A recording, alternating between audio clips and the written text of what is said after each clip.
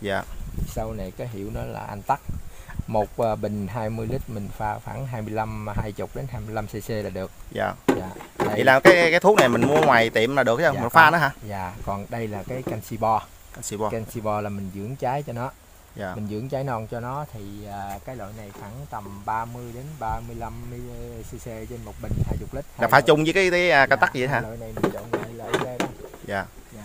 vậy là khi mà nó ừ, nó có lửa mèo xong là bắt đầu mình mình nó nở ra. Đồng khoảng tháng dạ. tháng mình cũng xịt cho nó. Nó từ khi ngày nở sau ngày, ngày trổ hả? Dạ nói chung là xịt thuốc với rải phân nói chung là hai cái này nó cũng khoảng nó tương đương nhau. Dạ. Cái thời gian nó khoảng tương đương nhau. Dạ đây là mấy cái quầy dừa khô em để dừa giống. Ví dụ như bà con nào có ờ, trồng á thì ờ, em ờ, chia Dạ. sẻ. Dạ. Không bây giờ anh bây giờ em cũng có nhiều người các anh á à, Dạ. cũng muốn muốn trồng à, dừa đó cũng có hỏi em á dạ, là cách kỹ thuật nè. Rồi cái bây giờ nó cái ở đây anh anh đã có ương giống chưa? Dạ có rồi anh. À, ở đây anh có thể là mình lợn ngay chỗ ương giống không? Dạ rồi để tí em dẫn về Dạ. anh dẫn anh về chia sẻ cho bà con cái chỗ giống của em. Dạ dạ cũng được. Thì ở đây là cái mấy cái hoài này già già là là làm để để giống hết. Dạ. dạ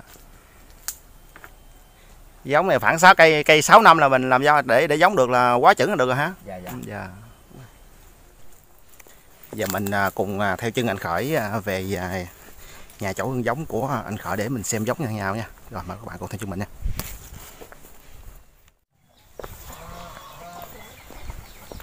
Ở đây là anh nuôi nhung vịt đúng không anh khởi? Dạ. Wow ở anh khởi ở, ở vườn thấy thoải mái nha. Tới anh khởi. Dạ đây Dạ wow cái này đẩy đẩy là là dừa đó đây để cho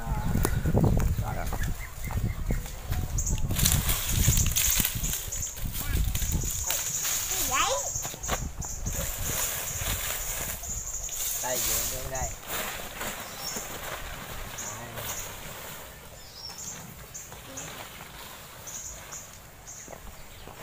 Cái này à, ưng mình đậy lại đầy phủ rồi tớp nào mình lú mầm cái mình đưa lên kia mình à, mình đâm trong cây dừa. Cái đó là mấy tháng mà nó nó một mầm á khởi cái dừa đó khoảng uh, hai tháng hơn hai tháng à.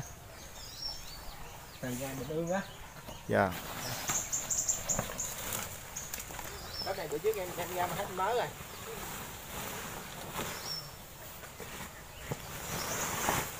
Dạ đúng rồi nhiều à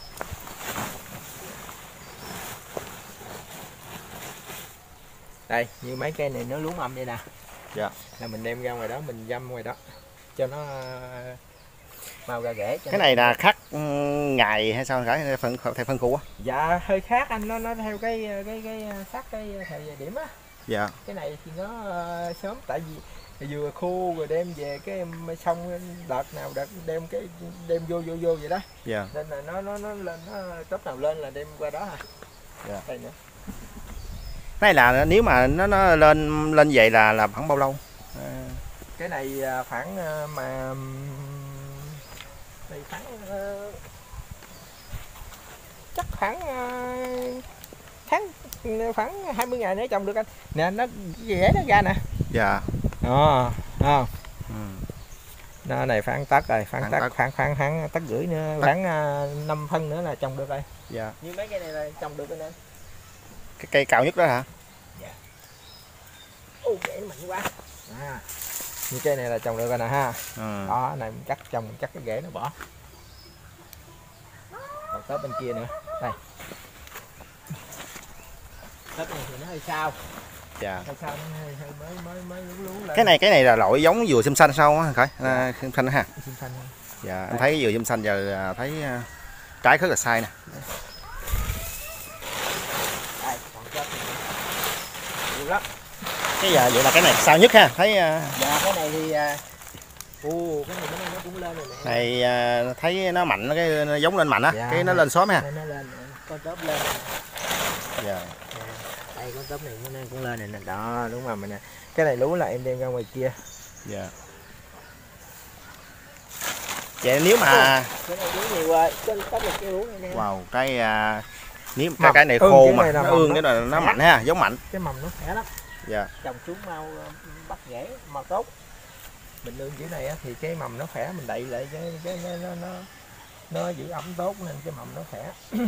Hơn cái ờ, mình nương cái kiểu mà bỏ ngoài mưa ngoài nắng vậy đó. Dạ. Vậy là cái này là nếu mà vài tháng nữa là anh à, anh anh là có có trồng được phải không? Dạ cái này tháng ờ, tháng rưỡi nè. Dạ. Đây cái này lên nữa nè đây mầm này lên nữa nè. Wow thấy à, cái này là khoảng bao nhiêu trái anh anh khải? Hết này là hết cỏ nha. trơn này chắc cũng khoảng ờ, hơn ngàn trái anh. Wow vậy ha Dạ. cái cái cái số này là thấy nó, nó mạnh nhất là nó, nó lâu trước nhất thì nên Dạ. nó lên trước nhất ha. Nó lên rồi em đem ra trước á. Dạ. Quá trời ha vậy là cái cái giống này khi mà nó lên cao rồi là cái cái kỹ thuật trồng giống như anh hay hướng dẫn anh sớm ha dạ dạ. Dạ. Đây mấy trái nào nhỏ nhỏ thì em lấy làm kiển chơi vừa kiển. Dạ mấy cái trái À. mới đẹp đẹp ha. Dạ đây. Nhưng mà thấy cũng dáng đẹp của anh nó Dạ. bỏ thì Móc nó đều. uống mình đây chơi làm kiển chơi cho nó vui chơi. Dạ. Vị trí. Đây còn có cái dừa hai mầm nữa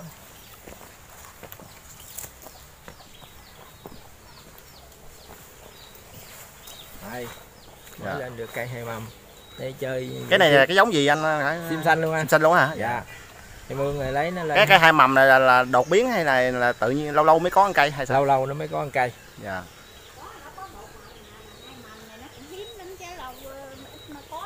Đâu có.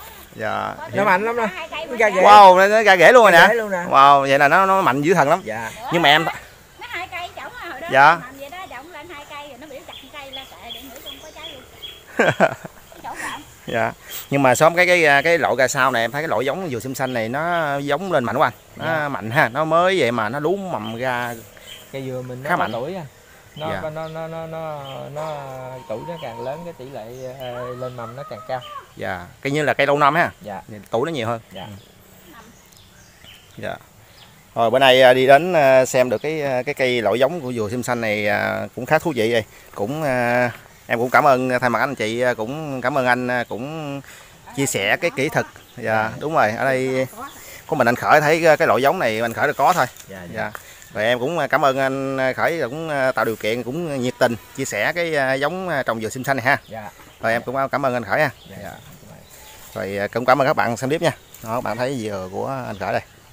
Rồi nếu các bạn có à, cần gì thì cứ comment và à, cần số gì thì cũng cho số điện thoại nha. Rồi cảm ơn các bạn. Xem tiếp nha.